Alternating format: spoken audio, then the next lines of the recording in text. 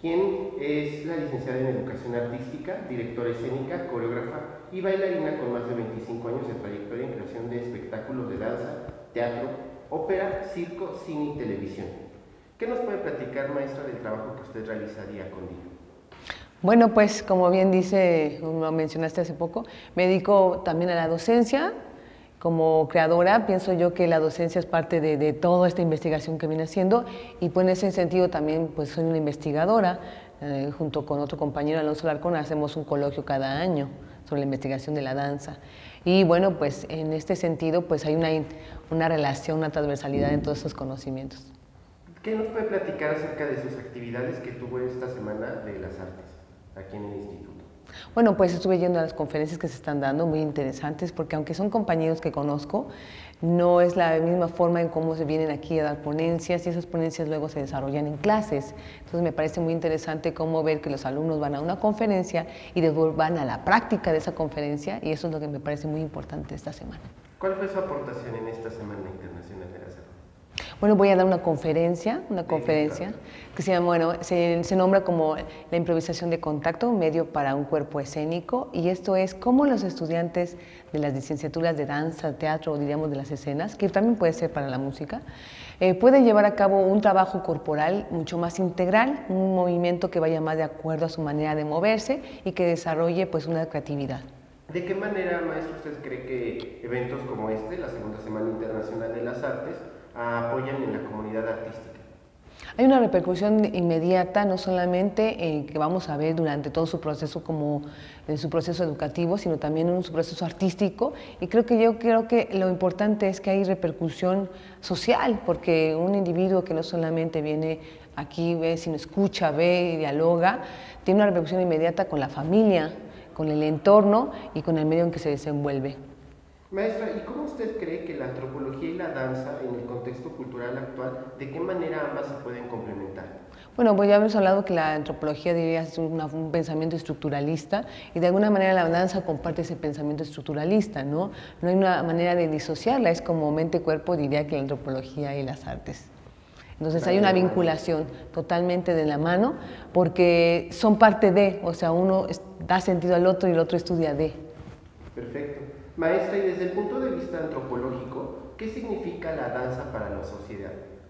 Es un medio por el cual el pensamiento discurre en una, sociedad que si no está directamente vinculada a eventos artísticos o no, son parte de, no hay manera de vincular esta realidad de la manera de, de un discurso escénico. Entonces, de alguna manera la antropología está ligada y analizando estos acontecimientos, fenómenos, estos fenómenos que se dan en nuestra sociedad, en, en este pensamiento y en esto que venimos siendo como individuos.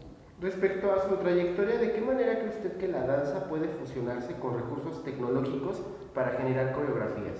Bueno, ¿qué te puedo decir? Le estás preguntando a alguien que exactamente pues, ahorita está en medio de un pensamiento tecnológico. Y tecnología, hablamos de que tecnología ha existido desde que el hombre prendió el primer este fuego. ¿eh? Ahí ya la primera piedra que eso así es tecnología, dice Heidegger. Pero estamos hablando con los nuevos medios de, tecnológicos, diríamos los nuevos, las nuevas, tecnologías. Y hablando de eso, pues ahora, eh, de hecho, eh, tenemos una temporada en el teatro, en el Centro de las Artes, en el Foro de las Artes, donde trabajamos con un robot Now. Es un robot social. Diríamos que ahí está, ahí está la antropología también dada, porque este robot francés, que es un robot pequeño, que es un robot Now, está hecho con un pensamiento social, no artístico ni tecnológico, sino es un robot que se hizo para interactuar con la sociedad y la comunidad entonces nosotros hacemos una obra que se llama Saga, el robot actuante, donde una, un actor bailarín interactúa con un robot now, durante una pieza de 40 minutos sobre habla precisamente de un niño que se autoencierra y a partir de este personaje que se llama Kiro, le dice, vamos a salir Daniel a jugar, no puede ser como yo. Y ahí estamos hablando de tecnología de punta porque es inteligencia artificial. De hecho, sí, sí, suena bastante interesante. Maestra, ¿y qué metas a usted le falta por cumplir en cuanto a la producción de investigación en torno a las artes? Mira, ahorita estoy en un proyecto precisamente que tiene que ver con la preexistencia. Es el fenómeno del cuerpo en sí mismo ya se danza. Digo, diríamos que las escuelas que nos ayudan es a las técnicas, las técnicas y metodologías a especializarnos, pero entendamos que la danza no es algo aparte que se construye fuera de la sociedad, fuera del pensamiento político, económico y cultural. Entonces, mi, mi proyecto ahora es vincular estas nuevas maneras de hacer estas nuevas tecnologías a favor de este pensamiento. Estamos haciendo una obra donde, o un dispositivo donde podamos escuchar la voz de una niña peruana con una niña de Tijuana a través de los medios de comunicación telemáticos para que ellos nos digan de qué y nosotros como artistas vincular esas anécdotas de cómo vive una niña con su feminidad y la migración de Tijuana con una niña de Perú que se va a sus padres hacia el norte. Entonces, esa, esa manera de vincular lo que sí nos pasa con el arte es ahora mis, mis propósitos y objetivos. Perfecto. ¿Y qué le aconsejaría usted a los estudiantes de danza para la vida profesional en el territorio de las artes?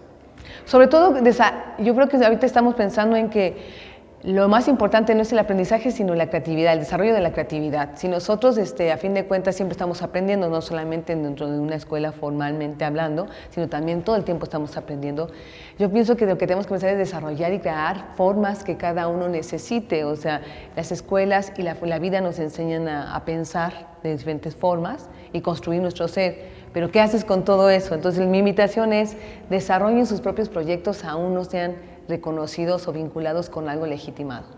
Sí, muchísimas gracias maestra, agradecemos este espacio en la entrevista y su, por, supuesto pues su participación en la segunda Semana Internacional de las Artes.